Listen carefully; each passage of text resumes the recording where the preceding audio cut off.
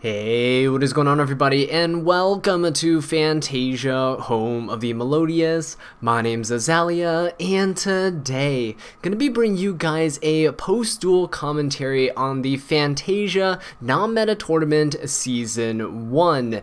Now, this tournament took place in December of 2018, and currently, the second season of it is ongoing, so those videos will be coming out after the tournament ends. Now, if you're interested in participating in future future Fantasia non-meta tournaments, please check out the Discord server. Link to it is in the description down below. And stay tuned inside the tournament's channel where, you know, we'll post updates on when we're going to be hosting the next season. So with that being said, guys, please grab some popcorn and sit back. This is going to be a doozy. And I'll see you guys next time.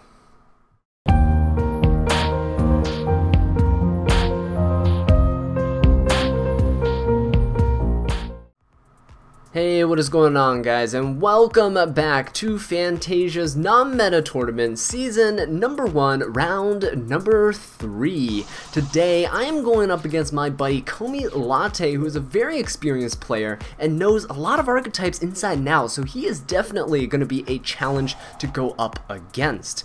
Now, starting off with this opening hand, it's looking pretty good. Spellbook of Secrets could potentially get me Blue Boy, but I make a very foolish mistake and I go for the Spellbook of Knowledge. Yeah, that's quite unfortunate, right? So Spellbook of Knowledge, ditching that Spellbook of Power, which, to be fair, was useless anyway, uh, and then grabbing two draws. Now, unfortunately, did not draw into Blue Boy, did not draw into Berry, in fact, did not draw into, like, Chocolate or any other summonable monster. I'm just stuck with this level 5 Kiwi Magician Girl in hand, like, what the heck? So that's quite unfortunate. So I go ahead and do the only thing I can do, which is set restage to my back row, because everything else is dead. Grand Spellbook Tower doesn't have a spellbook on spell uh, spellcaster type monster on my side of the field or in my graveyard, and Spellbook of Fate, I don't control spellcaster type monster for it to be live. Same with Magician's Right Hand. So right off the bat, I'm I'm completely screwed. Uh, this is not the opening hand that I was looking for. So anyway, uh, as you can see by the length of this video, um, yeah, this video is way shorter than the previous two, and no, it's not because I forgot to record games 2 and 3, I definitely have all of them in here. Uh, this game just went by really quickly, and you'll definitely see uh, who it favors in just a second here. So my opponent, komilatte, playing, uh, well, Mekk-Knights, going ahead, summoning Blue, uh, I believe that's the blue one. Uh, yep, there we go uh, Blue Sky, I believe it is, and now he's going for two searches of Mekk-Knight monsters. That's, of course, after he had his Ibly, went for the Mermaids, summoned Ibly to my side of the field. Fantastic, right? Okay, so he goes for Morning Star. Morning Star is a huge problem because Morning Star grabs him searches, which is fantastic because in this tournament Ash Blossom was not legal so there's like no way for me to stop this without like effect negation which I'm obviously not playing or if I was playing I, I would not have it in my opening hand as you can see here.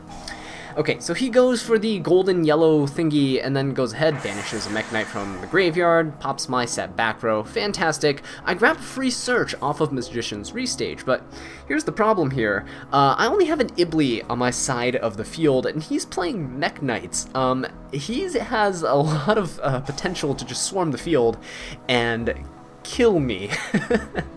So Key to the World Legacy is being activated, adds a Banished Mekk-Knight from his Banished pile uh, back to his hand, and then he goes ahead and summons, you know, goes ahead, summons it. Uh, I believe this is the uh, Cobalt. Yes, uh, it's like Indigo or something like that in English. I forget. But this is the one that can move its own zones, which is perfect because he can move it aside and then summon Purple Nightfall right under his Morning Star and above his continuous spell card. Because Mekk-Knights can only be summoned if there are two or more cards in the same column as it, which is huge. Now here, my opponent goes ahead, kaiju's the Ibly that he gave me, goes for the Gadarla, and wow, that's already a lot of damage on board. Goes for an extra draw, sets that back row so he can summon out yet another Mekk-Knight monster, and then uses that Crimson Lotus, or red something uh, to go ahead and just pop that kaiju he gave me. And wow, looky that, looky here. He has five monsters on the field and just swings, swings for game. Um, yeah, that's not looking too good for me. Mekk-Knights are definitely a very, very powerful rogue strategy. In fact, if you just obliterated the, the current meta right now, uh, Mekk-Knight variants would actually be pretty good. Um, so it's, it's not a surprise that in this non-meta tournament, Mekk-Knights are actually doing very, very well. Now, I know that Mekk-Knights, if they get started, they can either OTK or they can just easily lock you out of the duel, like completely. They can just completely lock you out, and you have nothing that you can do about it, because you can't activate trap cards, spell cards, monster effects, right, everything, and then they can shift their Mekk-Knight monsters into uh, whatever column they want to to negate the, your cards that are in said column. So I decided to side in a few copies of Twin Twisters. In fact, I sided all three copies in. I was just phrasing them back row. Uh, took out the Magical Hats, took out Magician's Defense. Those cards won't really be helping me out too much. And then I decide, you know what, this should be okay. I'm gonna go ahead and just go into this. I'm going first anyway. I don't want to overside and then end up with too many cards that I don't want to see in my opening hand, right? So Going first, uh, I open with pretty decent hand, Chocolate Magician Girl, Berry Magician Girl. I actually have Blue Boy with Knowledge and Master as well. Um, so in this situation, Blue Boy would actually not be a bad first turn play, but I don't know what was wrong with me back then. Um, I, I, played this several weeks ago, so I'm just gonna blame past me. I go ahead normal summon Berry Magician Girl, like what the heck am I, what am I searching with this? I search a Kiwi, like what? I already have Chocolate Magician Girl, there's no reason for me to go ahead and summon the Berry here. Um, I know I, like, it just, ugh, I, I don't even know what was going through my mind. I guess I just didn't want to get OTK'd or something, I just, I, I don't know. I send the blue boy with the knowledge, get two draws, get secrets. This is pretty good, right? Not bad. Draw into another copy of Kiwi, which isn't the best thing. As you can tell from the previous game, Kiwi wasn't really helpful in the hand. Um, and now I'm just trying to set up with some of the spellbook cards, right? Fate or maybe Tower. Um, I decided to go for Fate because Fate can go ahead and just get rid of some problematic monsters, which is pretty decent, but, you know.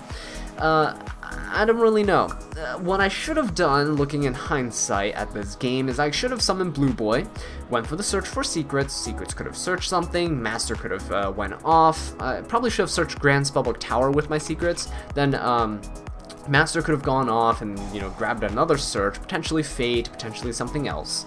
Uh, and then I could have gone from there. And Knowledge could have sent that blue boy from my field away, and now I would have been left with a clean field. And a clean field is actually never that bad against, well, against Mekk-Knights, especially because I know my opponent is playing Kaijus. Like, I, I went into this game just horribly. I, I don't know what is going on. Please just spare me in the comments down below. Uh, I, I played this really, really poorly. As you can tell by this like regret that I have here just looking at this. I'm like, wow, did I really do this?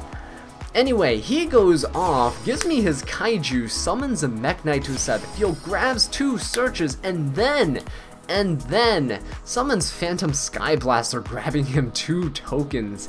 Man, Phantom Sky, Sky Blaster is such a good card.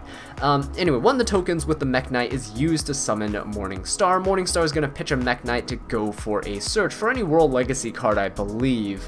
Uh, so that's a really fantastic card to have. Now he also has another Skyblaster and a token. He can use them for Link summons if he needs to. It's very easy for him to go off from here and Oh man, I just looking at my opening play just made me cringe so hard. This is not uh, this is not how you're supposed to play this Magician Girl deck.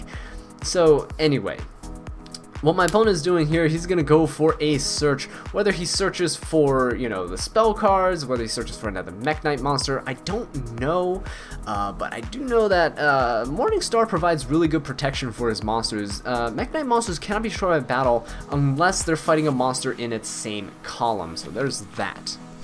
Uh, okay, so he finally goes ahead, decides he wants the World Legacy Succession, and that is going to be a really good card because he just pitched his Mekk-Knight monsters to the graveyard. Yeah, that's right, so he can just revive those if he needs to. So the first thing he needs to do though is gonna go ahead special summon more Mekk-Knights already from his hand. Purple Nightfall coming out, targeting itself, banishing it, grabbing out the search for a Mekk-Knight, can summon that Mekk-Knight out as well.